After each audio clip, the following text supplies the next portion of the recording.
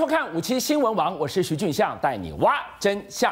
今天这个小时，我们带大家来看看二零一七开春的这个年头，郭董真的要靠着金苹果，靠着 Nokia 会不会换楼啊吗？今天我为大家来揭秘，来看看不是谈过吗？在金鸡年的开工日，郭董首次缺席，说去拼经济，他去了哪里，见了谁？哎，今天被点名了，我们来看看到底葫芦里卖什么药。他关心的是房市今天吹什么风呢？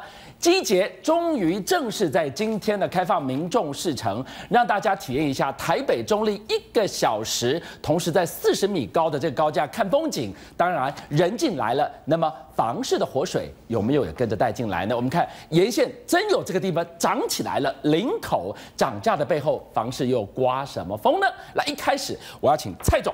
带我们来看到的是台股挑战万点的行情还有多远？看看干话嘛，亚姐的，怎么样在股市里当了一个聪明的包租公、聪明的投资客？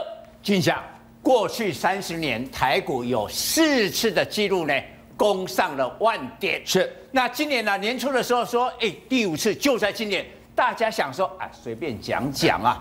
最近一看啊，不得了，股市冲冲冲，天天一千亿的成交量。今天已经来到九千八百六十九点了，你看这剩一万点，才不一百点而已。春几八掉苗，真的是红不让哎。好，这个地方钱的确进来，是往下就代表了台币的升值，是，所以的确急来呀。对，所以万点在望。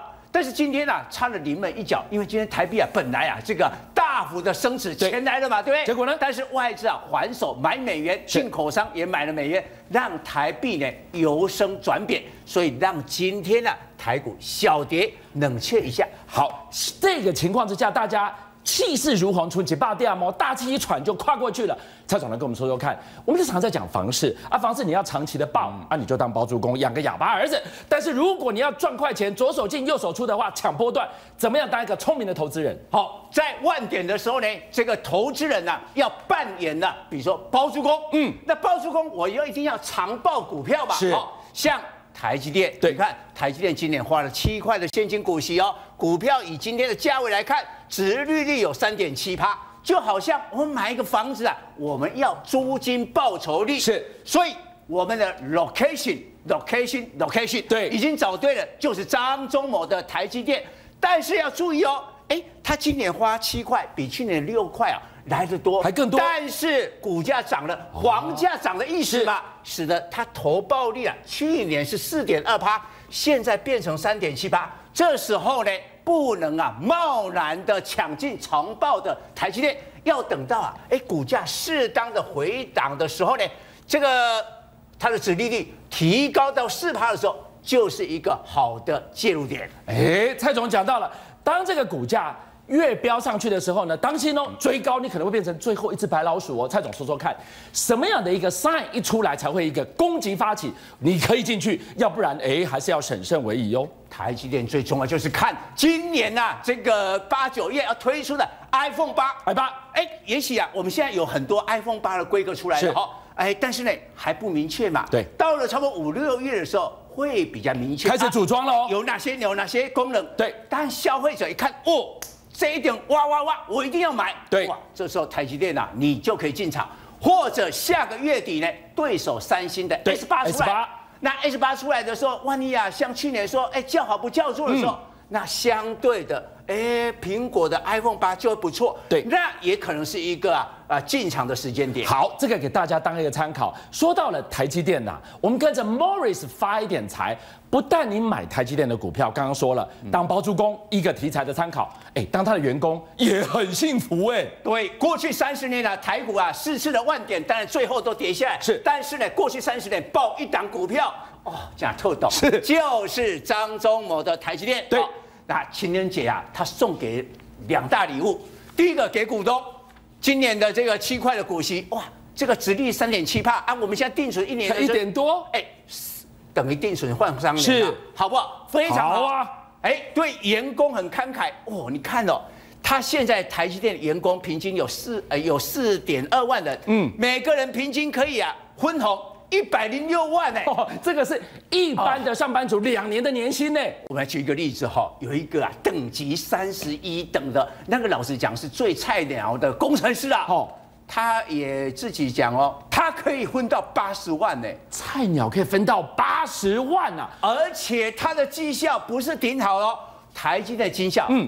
分成好几级，是。有待加强是 I 哦，S 减的就是普通了哈。S 哎，这个菜鸟就是 S，对，再过来 S 加的最好的是 O，好，哎，这样的话我只有在中间，对，我是菜鸟，我还三十一等，我就可以领到八十万呐。所以考级 A 跟考级 B 的这个中间，差不多 B plus 左右哦，没有太好，就可以领到八十万。那你这个中段班领完进口袋就在跳槽啦！哎，人家张忠华就想到你有可能来这一招，所以这八十万哦要分五次领啊，其中四十万去年的二五八十一啊，就这个四分期支付就对了。另外的一半呢，四十万要今年的八月啊才能领啊，所以啊，你也不要说领了这四万就跑掉，哎，也不怕你跑掉。不过刚刚话说回来哦。来马公且为，今天都能进到这个 Morris 的麾下了，过关舍不得谁要走啊？对哦，但是呢，有一种啊，短冲股，哇，今年你看到外资的买超啊，哎，你可以看到这是最近五天的，是买超第一名。郭董的红海买了十六万张，所以这个就是在股市当赚快钱投资客的概念哦。对呀，你就看哇，外资对是短存一杠，人家看上的是红海，是它是冲冲冲，对短冲的股票，为什么苹果的股价？你看。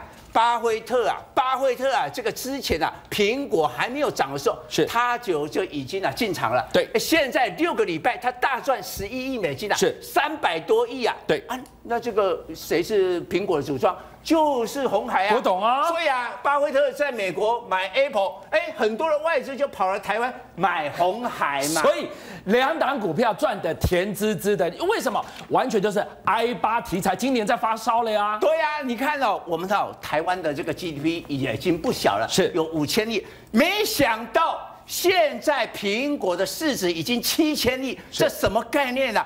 台湾 GDP 的一点三五倍，富可敌国。还有一个一一个公司富可敌国的时候，它的股票或者它相关的工业，难道不能买吗？所以巴菲特，所以郭董这么这么期待 i 八上市，但是幕后还有一个人比他们更迫切、更急切啊！哎，库克在笑，巴菲特在笑，郭董在笑，我们可以理解，他也笑，很奇怪。三星的李在镕在笑什么？他在笑什么呢？好，哎，现在啊，南韩的媒体来讲哦，苹果为了让 iPhone 八顺利啊有这个 OLED 的面板，但是因为三星啊 OLED 啊都是在他的手上，对，所以又跟三星下了一张六千万片的 OLED 的订单，哦，一片才七八十块美金，等于从啊库克这边李在镕捞走了台币一千四百亿，难怪他笑。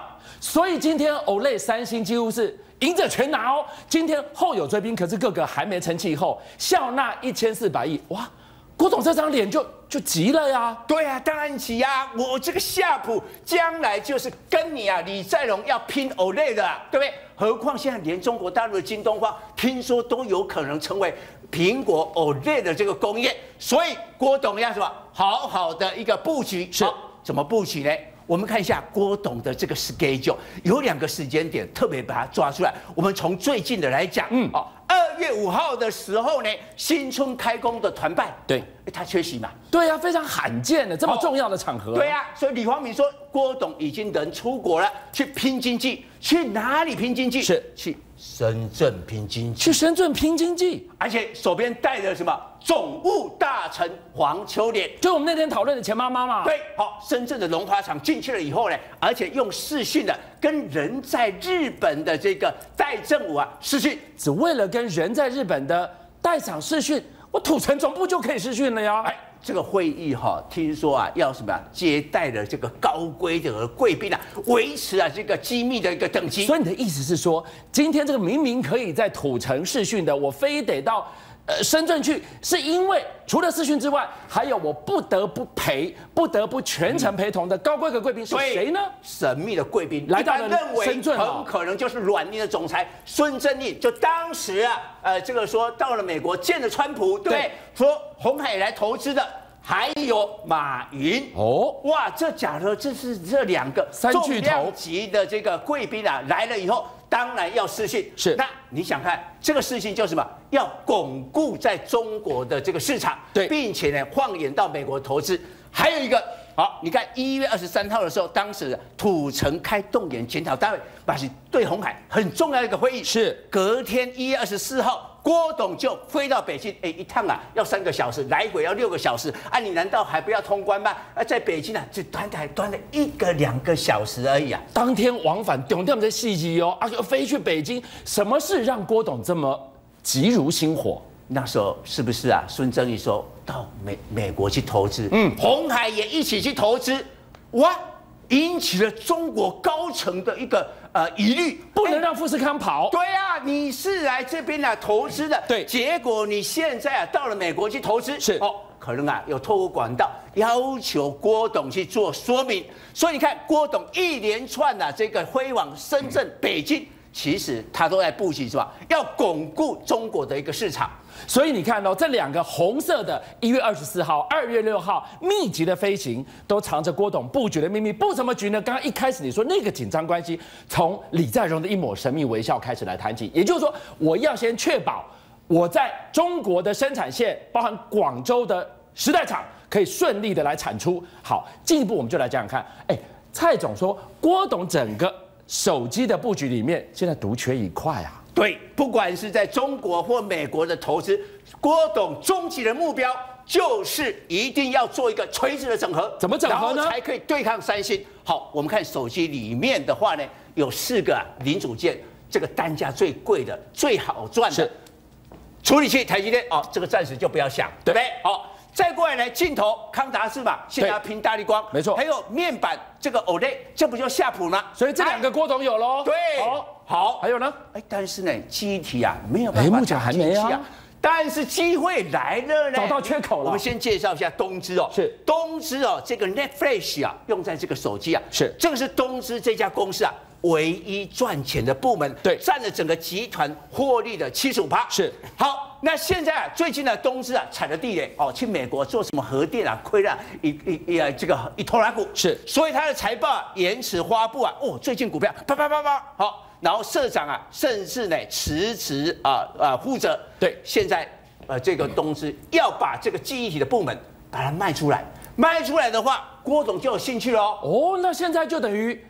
人家双龙抢珠，现在几个竞争对手不知道，但是郭董高昂的兴致啊，他要来抢东芝。对啊，这个就是我垂直整合剩下来的很重要一个拼图啊。对，我这个拼图拼起来，哎，我就可以可以三星来力拼了。而且啊，红海的确有优势。第一个，我经营夏普已经看到成果。是。再过来，我红海不是大型的记忆体的制造商，现在我只要吃了，哎，可以避开漫长缓托拉斯的一个审查，所以。郭董拿下东芝之后，的确就有机会跟三星啊较正了。好，谢谢蔡总讲到了。哎，今天夏普是吃下来，半年交出成绩单。如果东芝的记忆体部门 Name Flash 也让郭董给笑纳下来的话，哇，大家的焦点都在日本这一块。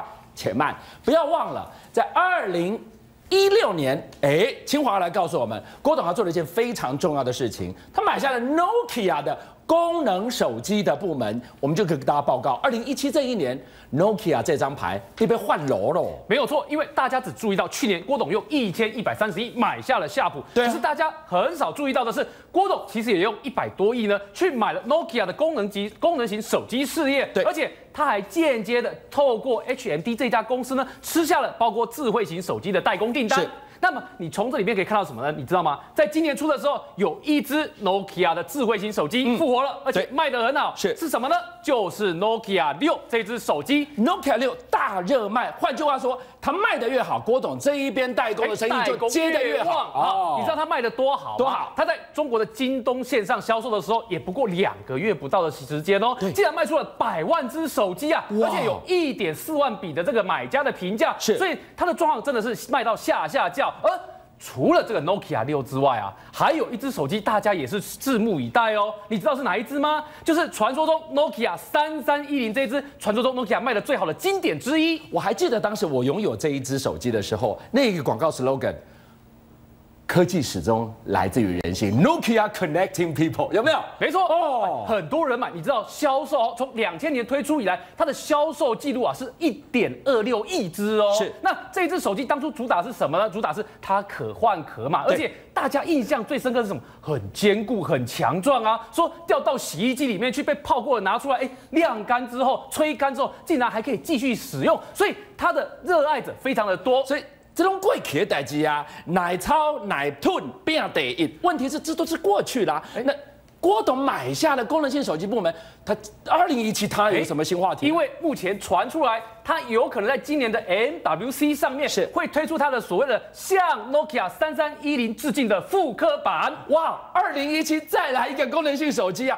会有人买吗？哎，我想怀念他的人很多，当然有可能。你看，这是英国《每日邮报》的报道哦，有一个这一个 Dave 先生呢，他怎么样呢？他说他自己已经使用 Nokia 三三一零手机十七年了，对，所以有这样庞大的粉丝基础之下，我想他的销售状况应该也是非常好的。那么销售状况非常好，谁会赚到钱啊？郭董啊，郭董的代工嘛。是。那除了 Nokia 三三一零之外呢？哎，现在还有一只引人瞩目了哦，是哪一只呢？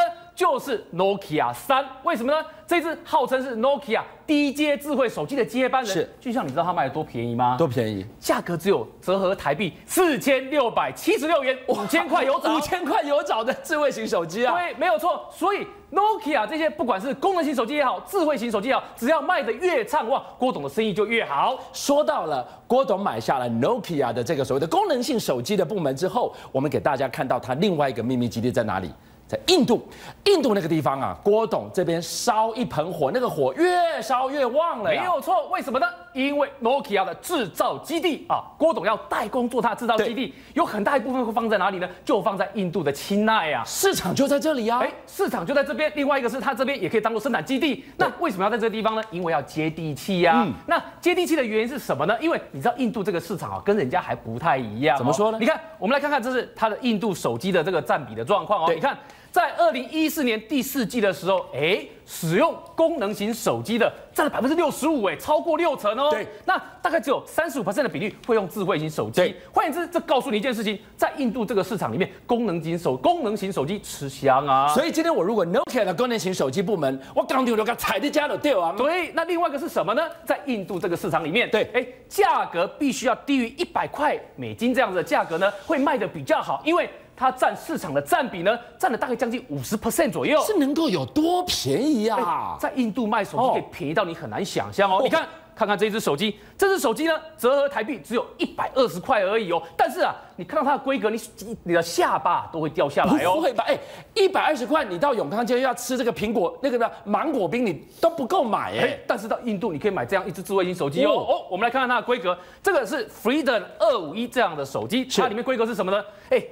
一百二十块台币哦，有四寸的荧幕，嗯，有一点四 G 的四核心处理器，有一 G 的 RAM，然后有八 G 的储存空间。对，最重要的是它还有三百二十万画素的相机耶！哎，你有办法想象吗？你只花一百二十块台币，竟然可以买到手机，有四寸荧幕，然后还可以拿来照相，八 G call All in One。来，这样子功能在台湾到底？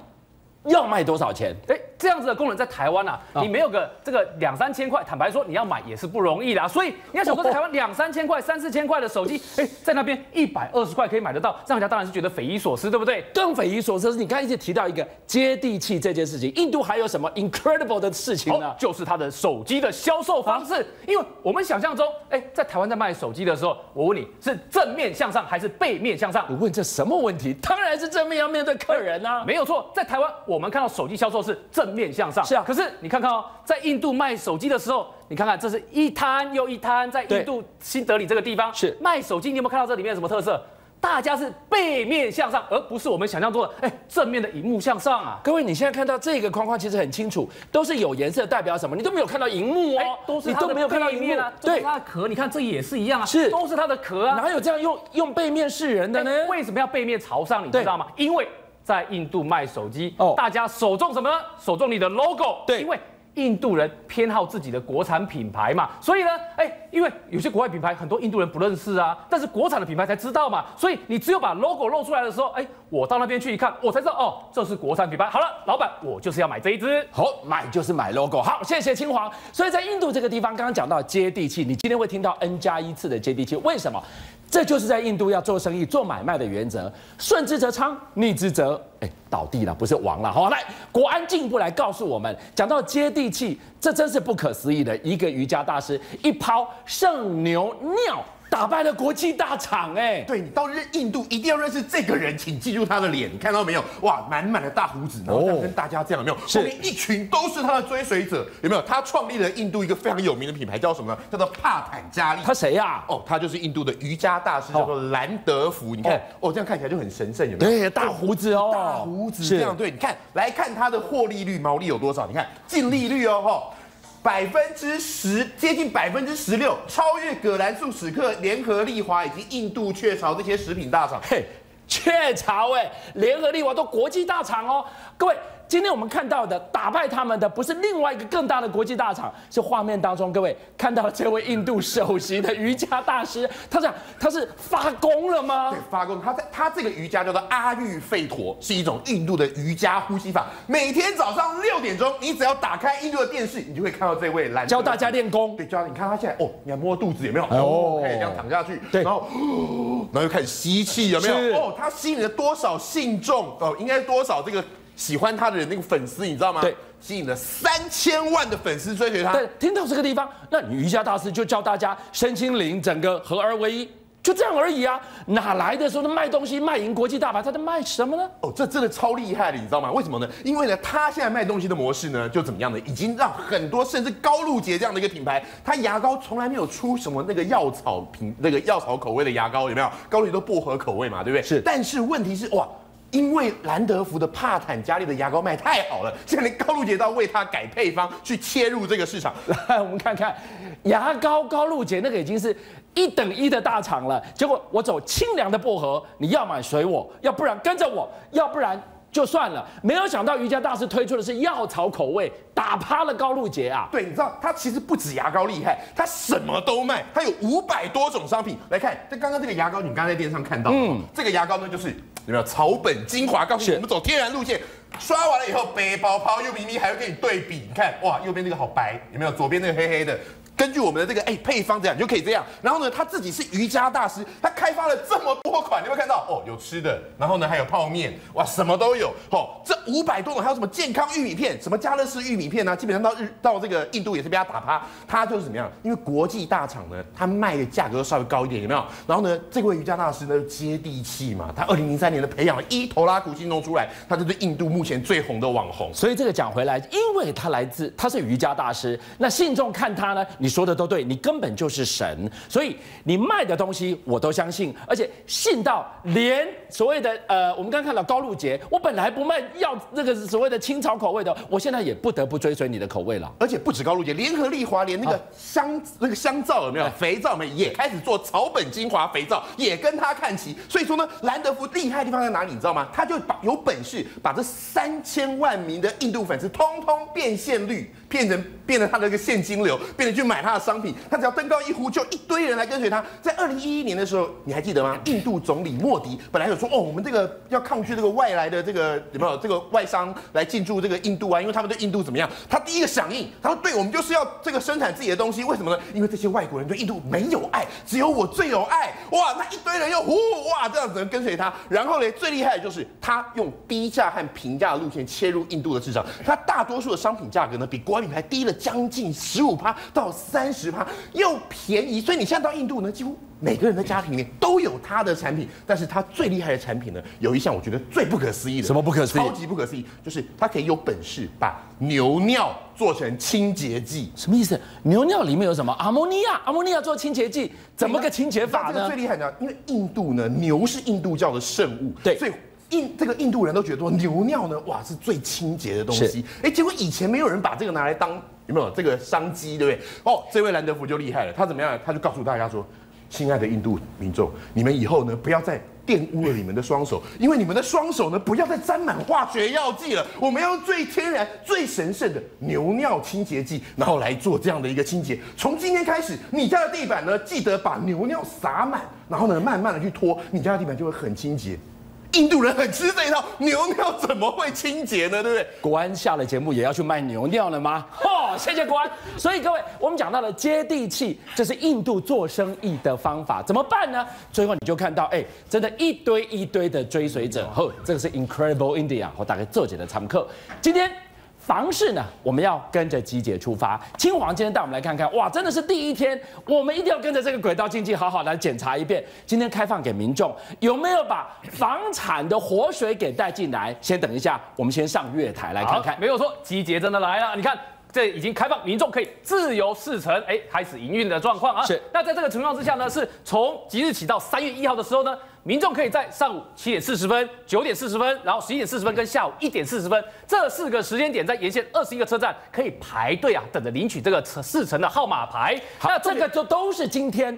白天大家看到的乌花丢包哇，欢迎登车，也等于欢迎登机啦。因为有人是直接搭着这个到机场去的，搭着就要到去上，准备要上飞机嘛。那今天因为大家太热情了啊，所以呢，在这个情况之下，你可以想见的是，已经涌进很多的人去排队。那因为是开放的首日啊，所以难免就会有些小抱怨产生啊。是，比如说有民众排队哦啊，排的太心急了，等到受不了了，说排队等了一个多小时。你看有民众的抱怨说，真的等太久了。那甚至有民众啊就大骂说啊，怎么动作这么慢，没有效率呢？那这可能是首日的状况啊，有人是太心急，可是有另一个状况，我们就觉得说，哎，你怎么会出这种小状况呢？什么事啦？是什么呢？哎，有这个日本的客人啊，行李要托运啊。对。那我们知道行李托运，哎，限三十公斤，对不对？对。那三十公斤，他可能哔哔叫，告诉你说，哎，你这个行李超重当然不行啊，超重了。那结果呢？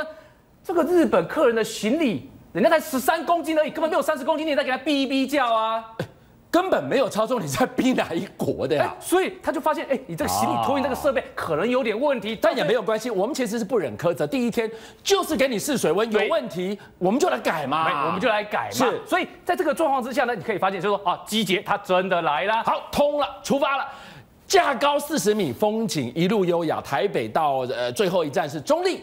一个小时就到了。好，但我比较好奇的是，过去我们在讲所谓的机捷这个轨道经济对房市的影响，黑龙红香娘娘，对，今天真是第一次让有人这样坐着一路过去，对于房市的影响，还有屋主，还有想买房子的人，他们怎么看？哎，机捷对房市到底有什么影响呢？对啊，你看，因为它已经通车了，对不对？所以呢，哎，有有业者就讲了，讲什么呢？有建商啊，就说，哎，这个因为这个带来人潮嘛，对不对？所以呢。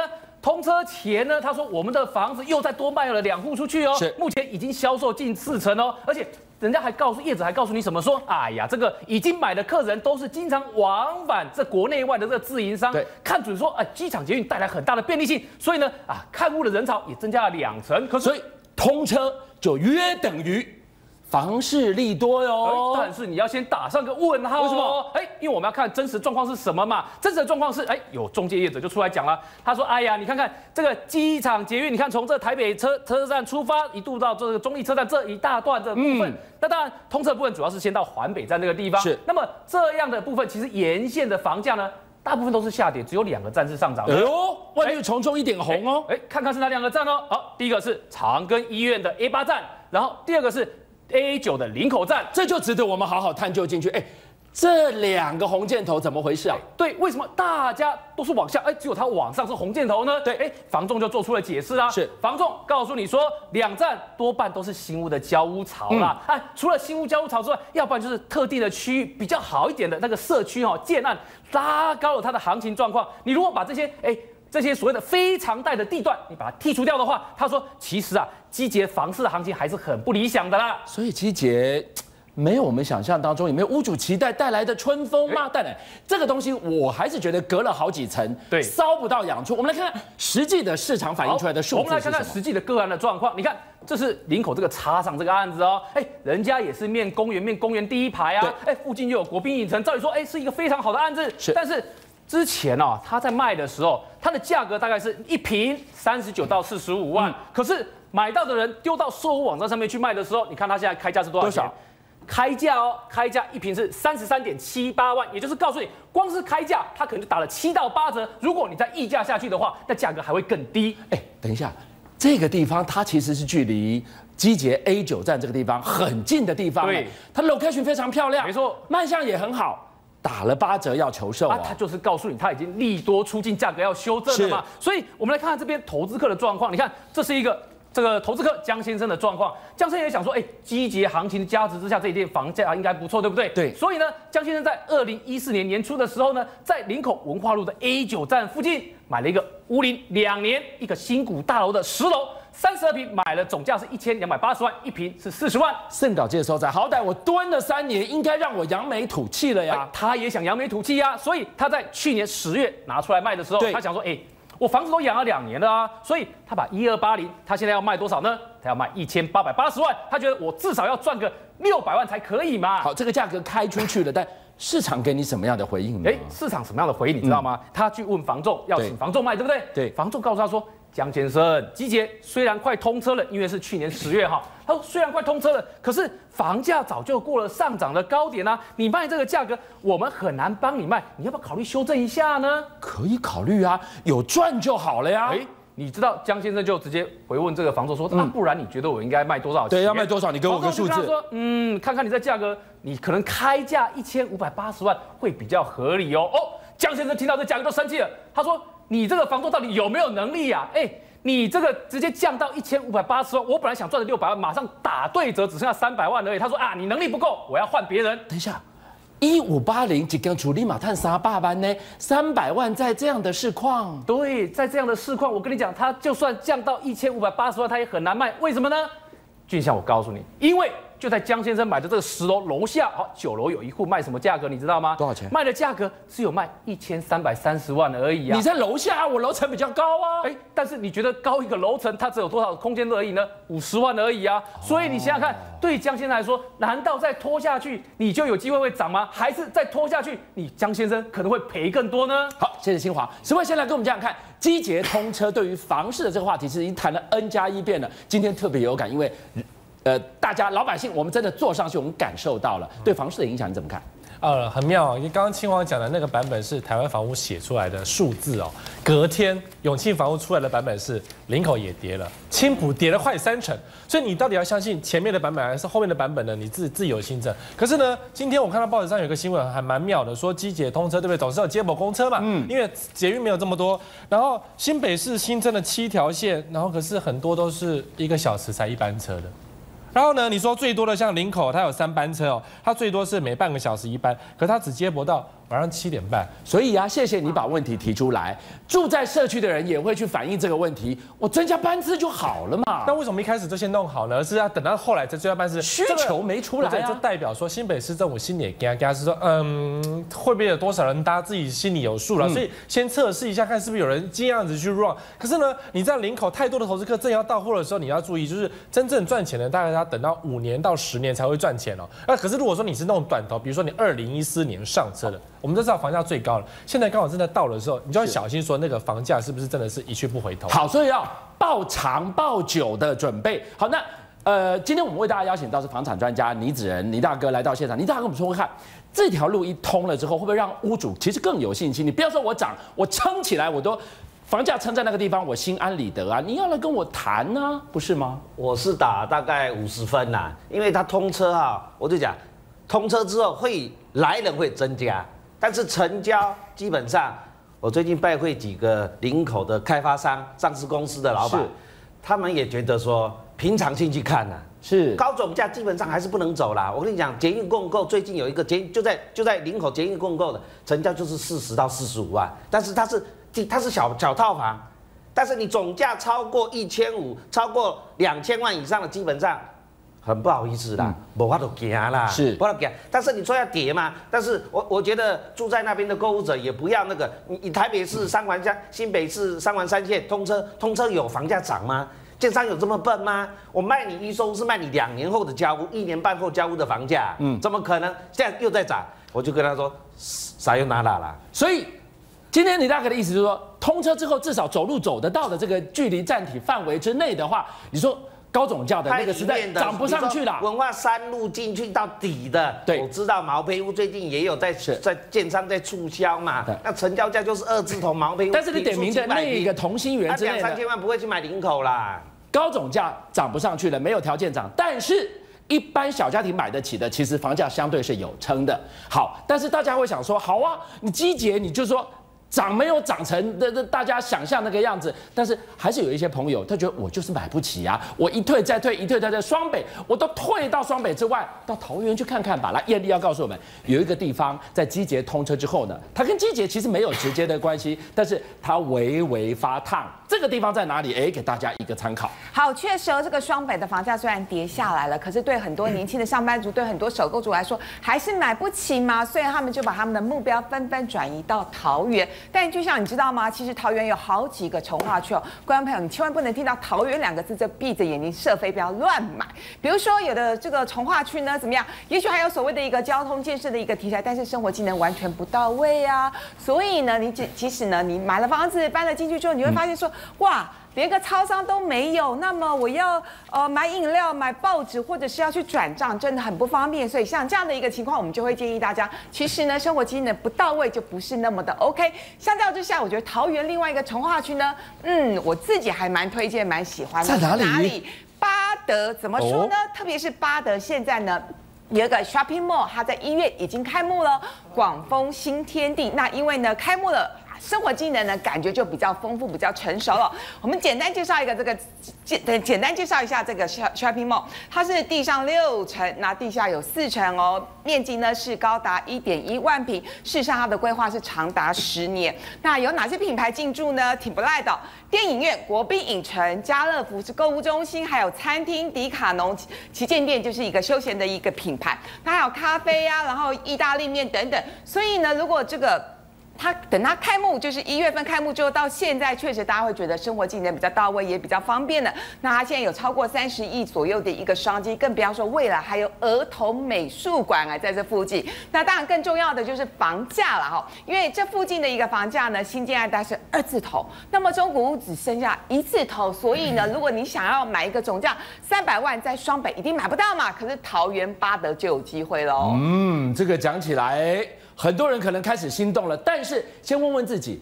你是上班族要通勤的，还是说你是退休族要图一个清静的呢？等一下回来呢，所以就要告诉大家，分两种，看看您是哪一种，房子怎么挑。还有，我们来看看为什么地保那两户法拍怎么没有人去护盘给他撑一下呢？哎，有钱人想的跟你不一样，不要走开。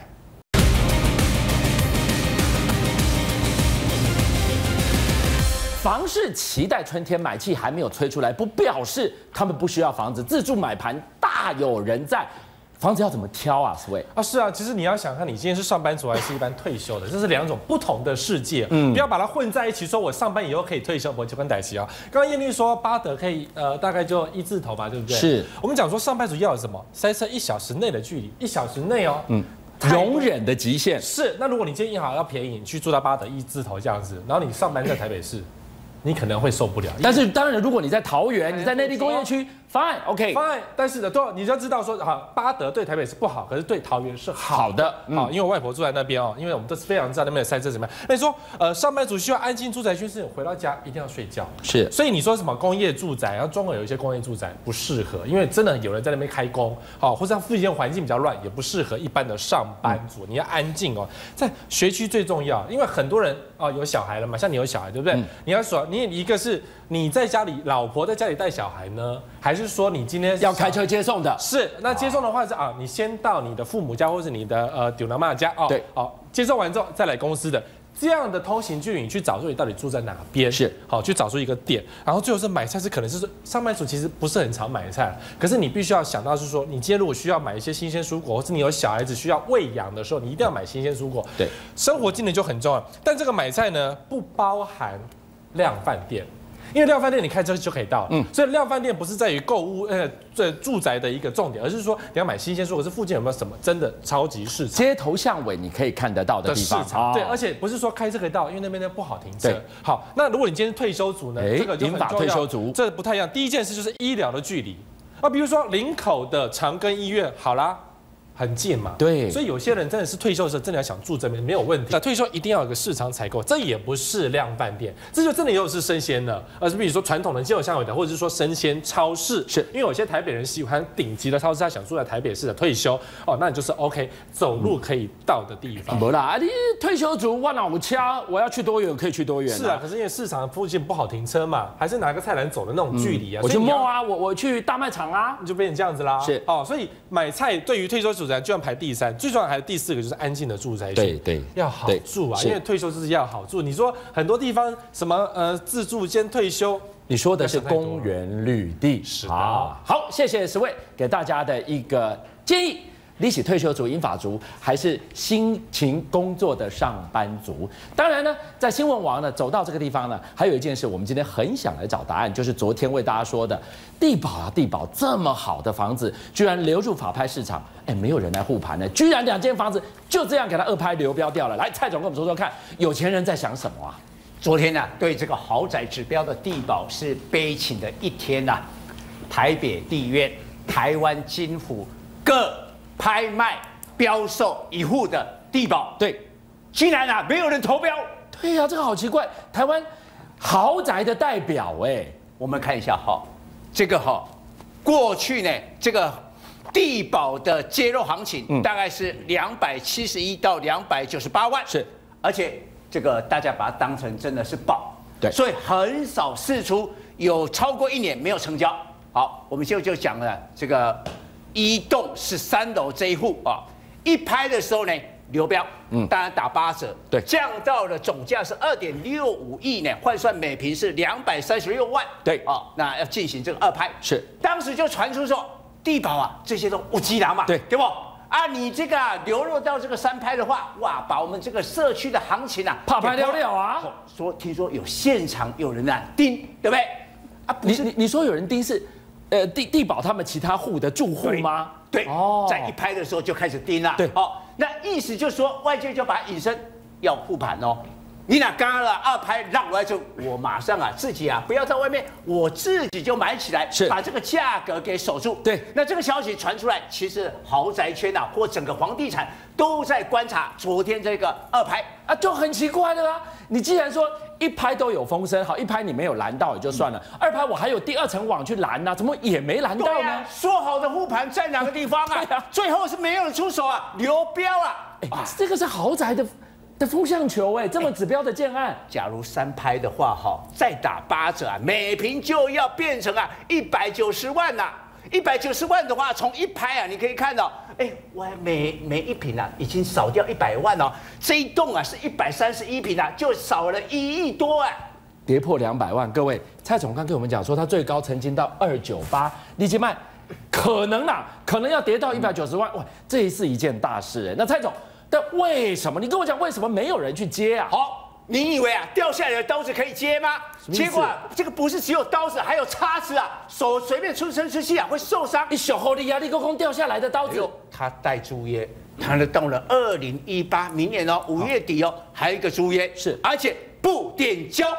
哦，带租约又不点交，这个因因为是地保，大家可能没有立刻联想到，但如果把它想成一般的房子、一般的住宅，我就想到了海蟑螂。对，哦我们我们来讲一个台北市杨先生啊，遇到这种情况啊，结果这个不是掉简单掉下来的刀子啊，还带叉子哦。他二零一一年的时候呢，从法院啊拍了东化北路一间啊法拍屋，是全幢还不小，八十七平。所以呢，到了三拍啊，一间啊很低价，总价还是很高吧，五千万。嗯嗯，哦，然后呢要一次付清了。那他只能啊，全家凑了一千五百万，所以剩下三千五百万还跑到高利贷付很高的这个利息啊。是哇，高高兴兴啊，竟然花那么大力气啊，赶快全家就要进去住了。对对不对？一进去住的时候，哎，怎么里面有人？哎呦，谁？这？很可能是那个流浪客嘛。那就对不起请走叫报警，报警来处理。结果打开门，安然喜利，这这上面好真的安装喜力，前屋主，你房子都法拍，你还住这干嘛？哎，前屋主啊说，我我们这个就是不点交啊。而且你要给我一个时间呐、我才能打包走人呐、给给时间我就给啊，杨搬家要先生啊多久？摸摸鼻子，好好好好，给你。对就一等等两个月，两个月还不见动静，你还不走，两个月够你搬家了吧？好、受不了了。好、所以到了这个十月份的时候，对杨先生带着家人、律师都安利给带来，而且报警哦，叫警方一起来。控告前屋主啊窃占罪，嗯啊，但是啊，人家就不开门，你闭门羹，好、杨先生受不了，直接翻墙进去。天哪，好不好吧？这个翻墙有法律问题耶。哎这是外出啊，哦，我我我我法拍来的、啊，但没想到前屋主啊当场还击，反控侵入住宅，最后啊杨先生啊被带回警方做笔录，现在双方是对簿公堂。我告阿长哎，我还跟这个借了三千五百万高利贷，搞得这样鸡飞狗跳，最后是刚刚蔡总说的不点交，里面还住人的那一种两把刀。刀叉齐飞啊！来，十位说说看，十位这个在那个地保昨天的这间两户地保启示录，你看到了什么？好，我有一些网友，其实我们就私下都在讨论这件事情。嗯其实有钱人只买房子只有三件事，一个叫做只买好东西，地保是不是好东西？好东西啊！是，所以呢，这一间是很多人会买。你虽然你讲说不点交危险很多，但是有钱人他的想法跟我们不一样是。他再怎么，哎，他只他有租约嘛，他是有明白有租约，而且不是无限期的租约，是所以这个房子是人家会买的。好，刘妈妈当初那个租约还不知道到什么时候，还不这样照买这样，所以这个东西是好的，就是反正我买下来之后等了两年租约到期，我再打官司就回来了。所以对他们来讲，这是千载难逢入地保的好机会。是那但是呢，我刚才讲三件事，对不对？第二件事情是投资一定要获利。如果今天买地保投资的话，就会算价格到了没。都一百九十万，即将要破两百万了，还没有获利的可能吗？还没到啊，还没到啊，因为对他们来讲，获利是要抓一点风险的。比如说市场自价两百万，我当然是要一百五十买，然后赚五十万，我不是赚了一百九赚十万块这种事情哦。有些人不是这样想，他们要赚赚很多。第三个是自助一定要不能买贵。也就是说，那个价格现在这么高，买贵被人家笑、啊，所以在地保圈里面，其实大家常常想说，哎呀，刘妈妈买的房子真的是太贵了，潘娜才要花那个钱买，但她还是的确买进去，因为她有她的用法。可是对一般正常的有钱人来讲，他绝对不会买贵，所以其实地保还有得跌。昨天，哎呦，你打断了我的思绪了。地保还有的人吓我了，十位。所以昨天的地保启示录刚刚是十位的观点，不过今天呢，倪大哥要带给我们的就是住在地保里面的有钱人想的，其实跟我们不一样啊。来，你大哥你怎么看？其实这个在标售啊之前啊，晚上就有地产业者说，哎，李大哥，你要不要去看一下这个台湾金湖的标售地保啊？我说不便去啊啦，我说这个地保啊，我是进去看过很多，其实它它它其实其实屋龄也蛮旧了，没错，基地大，但是我说那就市场机制嘛，对不对？但是他今天带租约，我就讲这个海蟑螂里面，之前法法拍屋里面很多这种带租约的，对不对？哎，那他他住在，假假假，比如说那合约，假如签约，租赁约签十年、二十年、三十年，可不可以签？可以呀、你要把我赶走，哎，来底是三口腾出来是。哦，俏龙俏红哎哎哦，你你你要请请神出去很难呐、你开挖这钱，哎，有力化呢，所以这个不点交的就很麻烦。是但是我觉得地保这个东西啊，我没有特别注意，因为它毕竟是个案呐、对但是现在你看这一波股市要上万点，大家有没有发现银建股在上涨？大家看到了，最近其实台北市的好歹真的有在成交。我举例啊、台商没错，你们节目之前在这个这个也讲松江路扫楼，没错，它破盘破盘，但是小巨蛋这个对面有一个都更案，成交就公布了，似乎成交二二一，两百二十一个，哎，松山区呢，那。复兴北路微风广场最近不是一个润泰创新的案子吗？也要公开，三二九要公开，总销两百亿，开价多少呢？两百亿到两百五，啊，凶山窟啦。那你说新一计划区、大安区怎么办呢？好，所以哦，这是特例。你都瓦公有这个特例啊，但是我们想一想，我一个问题，等一下回来我问蔡总，蔡总我贵阳一边又多爱地保，是不是有人怀抱着说，我让它再跌，子弹再飞一段时间，我一次买两户，有没有这样的想法呢？等一下回来请教蔡总。